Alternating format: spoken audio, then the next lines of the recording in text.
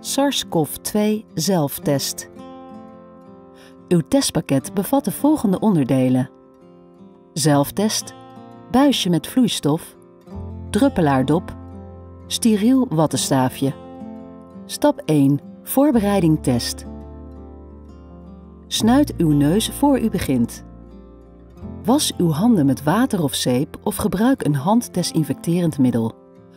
Open het verpakkingzakje bij de scheurlijn en verwijder de teststrip en het zakje met droogmiddel. Verwijder de folie van de testvloeistof. Stap 2. Afname. Haal het steriele wattenstaafje uit de verpakking. Kantel het hoofd iets naar achter. Breng het wattenstaafje 2 cm diep in de neus, parallel aan het gehemelte. En draai 4 rondjes gedurende 15 seconden langs de binnenkant van de neus. Herhaal dit in het andere neusgat. Stap 3. Mengen.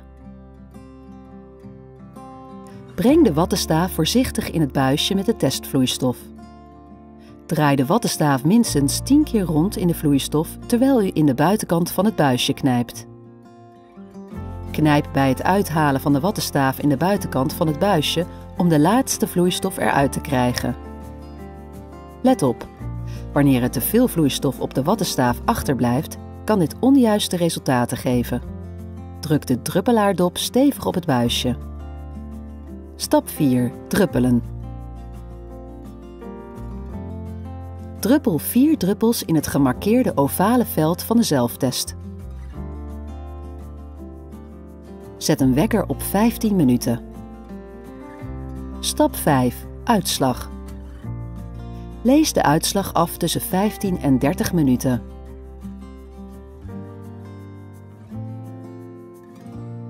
Een controlelijn C betekent dat het testresultaat geldig is.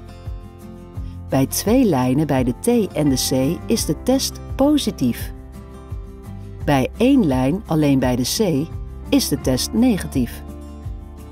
Wanneer de lijn bij de C ontbreekt, is het testresultaat ongeldig.